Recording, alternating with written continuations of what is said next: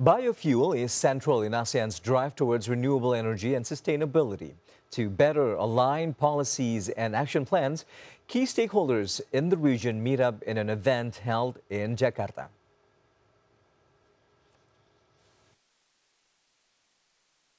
This week's seminar, which is part of a string of events organized under Indonesia's chairmanship of ASEAN,